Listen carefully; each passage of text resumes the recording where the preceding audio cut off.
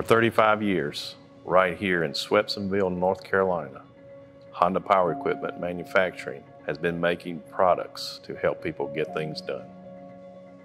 When I was, I was probably about 10 years old, and I lived with my grandfather in Swepsonville. This used to be a cornfield, and he would bring me dove hunting here. So thinking back to that and how large this facility is now, in the same place where I hunted is pretty amazing. Oh my goodness. Uh, we have grown in leaps and bounds. We started out with 35 people.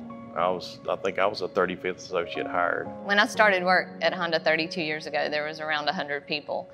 Now there's around 1,200 associates. Honda is really ingrained in the community. Honda wants to be a company that society wants to exist. So I think Honda being built in this area It's made a big change in everybody's lives around here.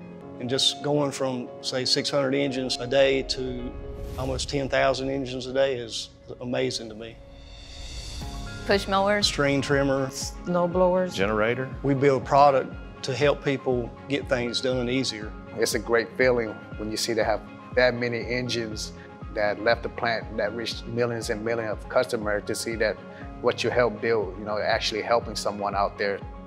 My 14 year old, he's the one that does the push mowing. The first time he cut the grass, he was like, Dad, look at it. It, it looks so even and smooth. When I do my yard work, it looks really, really good.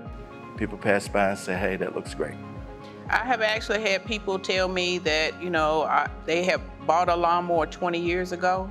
Cranks on the first pull after 20 years? Are you serious? You know, that, that makes me over the moon. our customers are what keeps us going.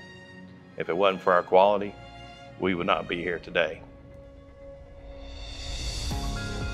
HRAN, they develop our new models, and then they help us launch them into mass production.